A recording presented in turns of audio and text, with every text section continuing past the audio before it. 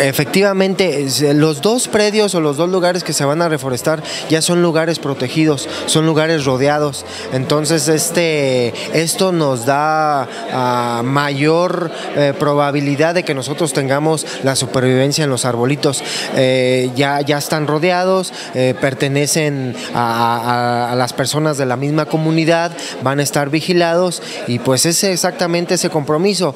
Oh, es importante mencionar que los grupos que nos acompañen y quienes estemos presentes a, inicios del próximo año que viene siendo el temporal de estiaje, estos mismos grupos vamos a ir al mismo sitio para hacer las mismas faenas que los arbolitos necesitan como son las de mantenimiento. Eh, se van a hacer algunas pruebas con, con el hidrogel, se van a hacer algunas pruebas con la lluvia sólida que en temporal de estiaje este, funciona muy bien para, para la planta y como lo, lo comentaba hace un momento, es el tema la de la planta del arbolito.